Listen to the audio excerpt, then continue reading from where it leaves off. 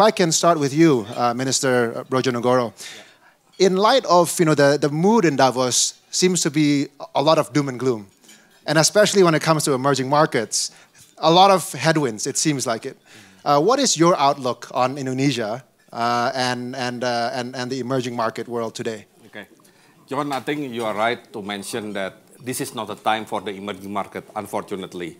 Uh, I believe we have followed what happened in the global, starting what happened with the US in uh, 2008, 2009, followed by the Europe. And unfortunately, after US, Europe actually is a turn of the emerging economy. And of course, uh, we are in the very challenging situation.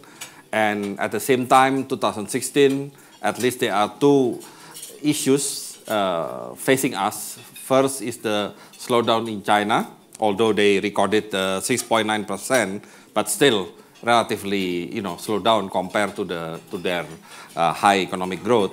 And then, of course, secondly is the low oil price. Low oil price is not about the oil itself, but mostly about the commodity price. It means that we don't have basically uh, too much ammunition. So what we have to do uh, as an economy, first, we need to establish our domestic economy by still keep spending on the government side, uh, especially for infrastructure, in not only just to build the infrastructure, but more importantly, to boost the economy itself. And then, secondly, of course, attracting the investment. And I think the forum like this is very important because basically Indonesia still needs foreign direct investment. And from our side, we are still welcoming very much the importance of the FDI. Yeah. So what, what is your outlook for Indonesia's growth this year? Okay, I still uh, stick to the, to the outlook in our uh, budget 2016, which is uh, economic growth of 5.3%. And I think uh, the figure is still doable, given the fact that uh, according to many analysts, although the, as I mentioned, it's not the time for the emerging economy, but they still consider Indonesia is one of very few bright spots in the emerging economy. Wonderful. Maybe I can turn to you, Minister Lembong. Um, what are your priorities? So you're one of the newest ministers in our cabinet. Um, what are your priorities uh, as you take office? Thank you very much, John. Um, I think I want to start by reiterating a point which President Jokowi made in his speech at the Brookings Institution a couple of months ago in Washington, and that is that uh, any situation can be a problem or an opportunity, depending on what you make of it, right? True, we are now in the middle of an emerging markets downturn, but as the president has said, it's actually a great opportunity to push through painful and in many cases overdue reforms, right? Uh, and Minister Brodjonegoro can confirm in cabinet meetings, right?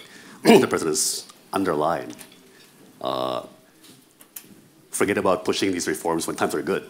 It's not going to happen. Uh, but when times are difficult, when anxiety is high, uh, when people are more open to new things, like now, this is the time for reform. What, what would be some of those reforms? So I think uh, it's probably on the trade side reasonably well covered in the media, but we're trying to execute what could be one of the sharpest policy U-turns in recent Indonesian history, which is a country Indonesia, which for the last 10 years, and certainly, especially since the 2008 financial crisis, has probably resorted the most heavily to protectionist measures, is now wanting to go precisely the opposite direction.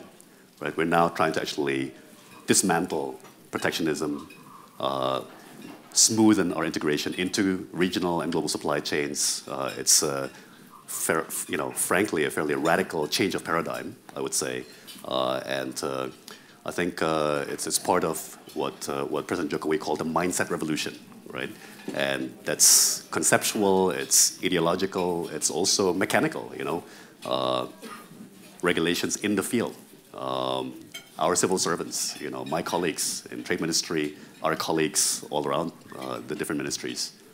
There's been a lot of talk about, talks about re the revision uh, of the negative list for foreign direct investment. Uh, what are some of the are you, you know, what are some of the industries that are being discussed uh, and could possibly be opened? Uh, well, uh, BKPM Chairman Sibarani has already made some comments uh, with respect to, for example, the hotel industry, um, you know, movie theaters and movie production, movie distribution.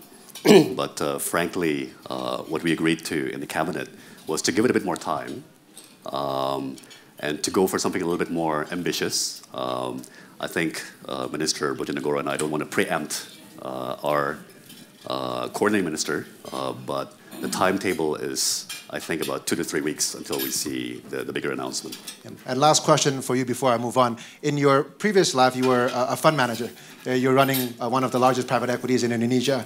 What, how do you view the Indonesian economy today from, from that perspective? Well, as an investor, uh, in hindsight, um, the boom times were actually a terrible time to invest, you know, which uh, we, we put capital to work um, you know, because that's, that's when it's easy to invest, right? Things are booming, uh, you know, you, you put forward very rosy financial projections. Uh, that turned out to be not the case. That turned out not to be the best time to invest. Actually, I think with the benefit of hindsight, I would say now is the best time to invest. You know, the currency is off 30, 35%. You know, personally, uh, by measures of trade competitiveness, I think it's, it's very competitive, you know, at this point. Um, and, uh, and yeah, uh, using my glasses as a, uh, as a lifelong finance and investing person, I would actually say, you know, we're probably nearing some kind of a bottom, and probably now is, is a better time to invest uh, in Indonesia and emerging markets, especially if you're a long-term investor. Great, great. Babudi, uh, you run one of you run Indonesia's largest bank. Uh, what is your outlook of the economy, and what do you see the role of banking uh, in, in, in uh, Indonesia's growth? Indonesia is very unlucky because we have a lot of volatility in the last 15 years. It happens in 1998, 2005, 2008.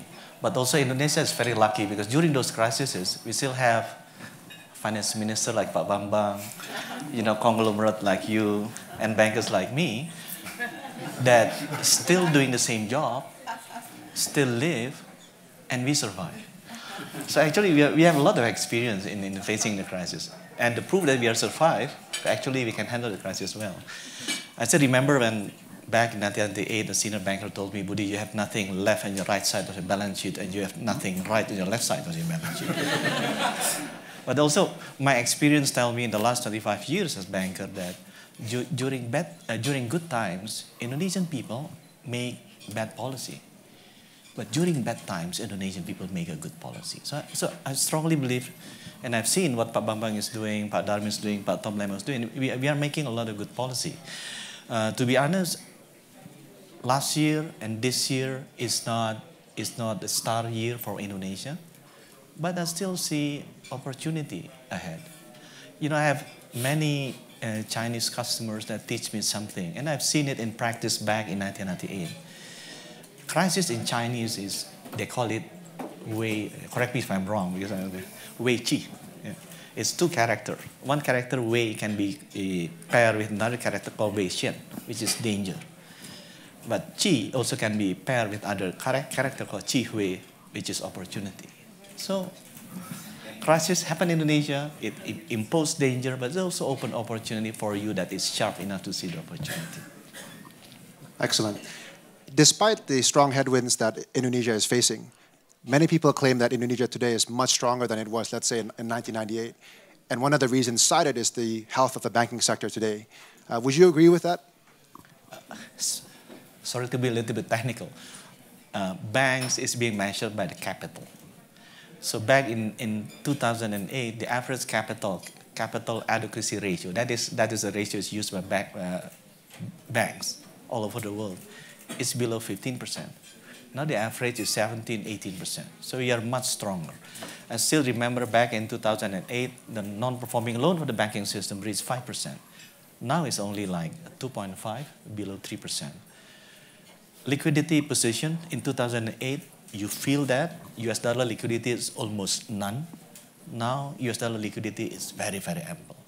Rupiah liquidity, because of Pak Bambang you know, withdrawing all the money at the end of the year is, is a little bit tight. But now it, it's okay. it's back to normal because Pak Bambang also spent the money very, very fast this year. Uh, thank you to Pak Bambang. So I think, yes, we are, we are, we are facing headwinds. But again, I remember, John, you, you told me about this. When the wind of change is coming, many people will build walls, but only smart and few people build the windmills. So I think we should build the windmills. Great. If I could turn to you, Pa Anin. Uh, Pa Anin, in your capacity as vice chairman uh, of the Indonesian Chamber of Commerce of Kadin, uh, what's your, how do you see the economy from the private sector's perspective? first of all, thank you, John, for having me here.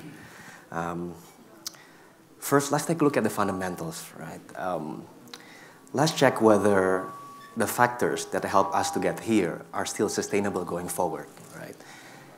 Especially in the last 20 years. Um, the first one, social political reform. I think since 97, we had that, and nobody wants to go back to authoritarian rule. I think it is here to stay. Um, stuff like uh, the election of President Jokowi, uh, Governor Ahok wouldn't be thinkable in the past. Now it is possible and nobody wants to go back. And that will bring sustainability uh, in the economy going forward. The second thing, I think uh, domestic consumption is here to stay, uh, if not growing. 65% uh, of the GDP already. Yes, one would argue that it is because little windfall profit from the commodity boom, but I would argue later on that the um, infrastructure development and regional growth, uh, as well as uh, digital innovation, will take over that past boom. So I think we will continue to grow domestic consumption, and if we can grow from being the 16th uh, largest economy in the world to something else, I think you know, it's something good, right? Because at the end of the day, we talk about a trillion economy, big economy, and all that, but this is uh, $4,000 uh, per GDP per capita, right? So that's still pretty low. And the last thing, um, the uh, demographic growth. Um, I think it's not going to change. People will still make babies. And I think more so when they're happier. Um, and, and having 45% of the uh, population of ASEAN uh, in the uh, era of um, ASEAN community coming up, I think that's only a good thing.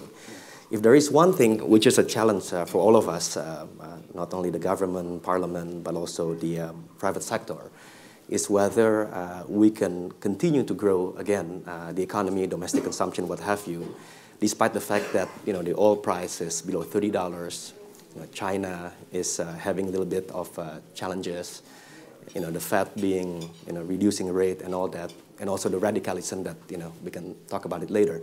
Uh, but I think, you know, as uh, we can talk about it, you know, uh, as uh, we, we, talk uh, later, um, I think we're resilient enough. Uh, we have been here before. I think this is not the time to be complacent by any means.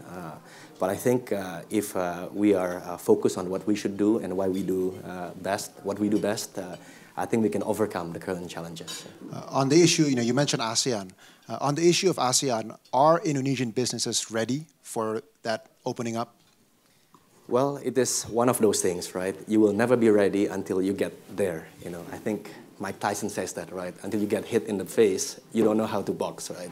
So it's one of those things that I think uh, Indonesians are ready because by nature, uh, if you are uh, sizable, scalable in Indonesia, you are scalable in ASEAN. Uh, but having said that, uh, not to be complacent in any mean, we need to produce a lot more things, you know ranging from infrastructure uh, development that we need to, to build, but also just human resource. You know, we, for example, I think produce like 50,000 engineers. I'm an engineer myself a year compared to China about 750,000, and then maybe uh, India about 300,000 is not enough. So all those things, as the uh, GDP per capita improve, uh, people will need to be more educated, and health will be needed, which is you know a business in and of itself. And at the same time, they need also entertainment, which we also can you know, do well in that business. Professor, if I can turn to you with a few questions. Uh, as the uh, non-Indonesian on this panel, can you provide, you know, what is the perspective on what's happening in Indonesia? Do you agree with what's been said, or are we delusional uh, being from Indonesia? Now, do you want me to be diplomatic or not? You're always diplomatic. I was a diplomat for 33 years. no, no, okay, okay. Let me let me let me let me let me speak uh, frankly. I mean, I think we, you're, you're, right. There's doom and gloom in Davos. Uh, I think it's, excess, it's excessive. I think it doesn't get the big picture right. But leaving aside what's happening in Europe or whether or not Donald Trump will be elected president of America, leaving all that aside, if you look at our region, it's clear we are sailing through troubled waters now. That's obvious, right? The figures all say so. The question is as you sail through these troubled waters, are you going to enter rougher waters or calmer waters around the corner? And it's very clear if you look objectively at the larger picture of Southeast Asia, East Asia, South Asia, you look at the big picture, around the corner, uh, many good things are awaiting us. I mean, the Economist cover story got China completely wrong. You know, they show this week President Xi Jinping riding a dragon that is going down. Excuse me, that dragon is going up. 10 years from now, China will be much bigger, much stronger, more capable. The Chinese middle class is exploding. Already 100, China, 100 million Chinese travel overseas as tourists, and many will come uh, to Southeast Asia. Just one example. Uh, India is going to become the fastest growing economy, 7.3%. And as you know, traditionally, if you look back over the past 2,000 years, Southeast Asia has always been affected by what happens in China, what happens in India, and if these two countries basically get it right, we get the, the benefits too. But the, the, the real good news about Southeast Asia, and this is the what you call the uh, big elephant in the room that no one has noticed, is that the reason why we are relatively calm about Southeast Asia is because we have created something called ASEAN. It's the most boring organization in the world. but you know, in a world of troubles, boredom is wonderful, you know. and I can tell you that ASEAN has created an ecosystem of peace which we take for granted. We see problems in the Middle East, we see problems uh, uh, happening within Turkey and Russia, and so on and so forth. You notice in our region, the guns are silent. Now, that's a very big deal, you know, for the most diverse region on our planet. And that, that's not the only thing that ASEAN has delivered. I'm, I'm, very happy to hear this is good news when you say that uh, Indonesia wants to change its paradigm and now be more open and so on and so forth. The good news is that the ASEAN economic community has created a very detailed blueprint, point by point, on how you can open up the different sectors so we don't have to reinvent the wheel. We have reached agreement on those points. Now, the tragedy about ASEAN is that when it comes to implementation, the ASEAN track record implementation is pretty bad. Even, even the ASEAN Secretariat says it's about 80%. And if you work with ASEAN, you know that ASEAN moves like a crab. Takes two steps forward, one step backwards, one step sideways. you look at it in short, slow-term motion, it seems to be moving now in circles. and then a decade later, you discover ASEAN has moved so far ahead. Why? So that, that's the, you have to understand the dynamics of each region. And for us, you know, the good news for us is that with Indonesia deciding to open up, and I'm not giving any secrets away, and I, and I suspect you may all beat me up for this. Traditionally, Indonesia has been the most reluctant country to open up its economy within the ASEAN family. That's been a tradition. It goes back 30, 40 years. But despite that, but the trend is towards opening up you know. And I, my message to my Indonesian friends is a very simple thing. In a global era, you have to deal with global competition. Forget the idea you can just succeed regionally. But if Indonesia, the largest economy, cannot compete in the ASEAN economic community, which is a baby pool of competition, relatively speaking, how are you going to compete globally? So, the, and therefore, if Indonesia makes a big leap forward, implements the ASEAN Economic Community provisions, then believe me, the projections for ASEAN growth grow even more uh, uh, better in the next decade. So if, if, if AEC is implemented, that goes beyond 80% to 90%, 95%, I guarantee you that ASEAN will grow faster and Indonesia will do better. I hope I got rid of some of the doom and gloom here. excellent, excellent. Can I turn to you, Minister Brodjonegoro? Do you share uh, the professor's uh, optimistic view of ASEAN and what Indonesia stands to gain? Yeah, I think, uh, of course, uh, what Professor Mahbubani mentioned about the, the reluctant side of Indonesia, I think it really happens I mean, because I'm involved in the financial sector. But it's, simple it's simply because we are the biggest market and we always feel that uh, others trying to, you know, take advantage of our market. But then... You are the most beautiful lady. but then, uh, in my opinion, uh, we believe we have the advantage of being competitive in ASEAN. That's, this is the, sometimes people forget, you know, because we always feel that we are only the market. But if you remember that although, although we are the market, we also have the position to make our industry more efficient, to be even competitive in our market itself, you know, because then our challenge now is how to make our companies, Indonesian companies, uh, competitive enough in our domestic market. And if you are competitive in domestic market, then I believe you will be competitive in ASEAN. And we have some examples. I believe uh, here there are uh, uh, representative from automotive industry. Now our automotive industry that used to be protected in the past, used to get a lot of privilege. Now they have become competitive domestically, and now they have the capacity to do export because what? Because they can competitive with other uh, similar automotive industry in ASEAN.